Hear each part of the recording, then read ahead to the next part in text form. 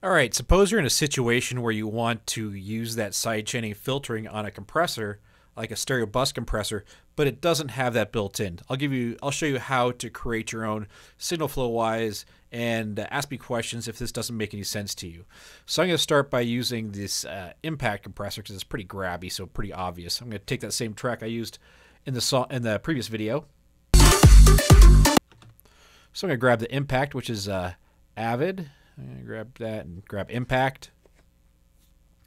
Uh, ratio is 4 to 1. Make the attack quick, make the release quick, and start bringing that threshold down.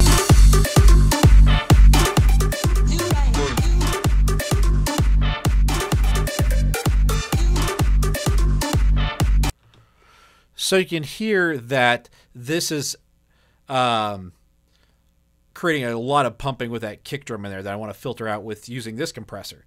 So in order to do that, I'm going to mute this track real quick and I'm going to duplicate it.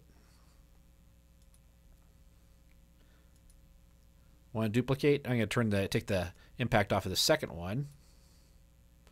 Let's call it electronic um, filter.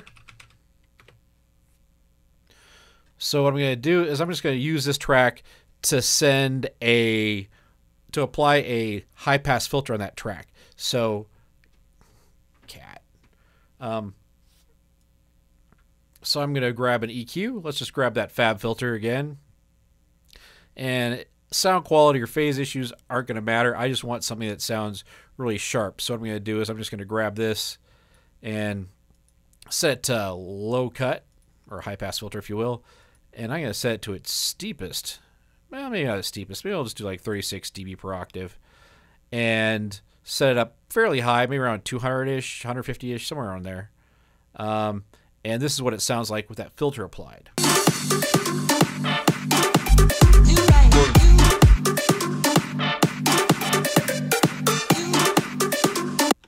Maybe erase that frequency a little bit. So now, this is going to be what's being sent to the compressor. I'll show you how to do that. I'm going to now take the send and I'm going to take it out of my stereo mix and I'm going to send it out bus one and two. And I'm going to mute the track, or it doesn't. I'll unmute the track. Actually, is the best way to do it. Unmute the track and then go to my compressor and here this key input. This key input I can set to bus one. It only accepts mono inputs for a key.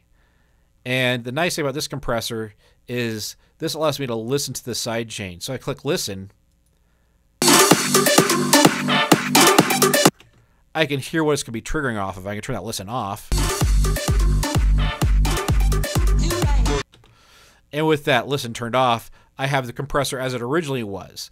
Now, when I click this external button, it's then going to change to compressing off of that filtered signal, the second track here. So I'm going to click on external.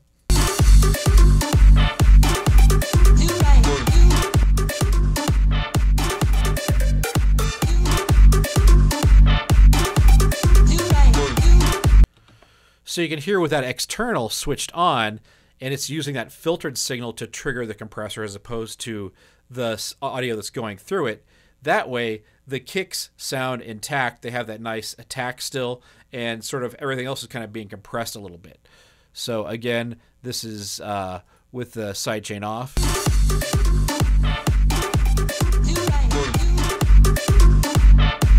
And the sidechain on.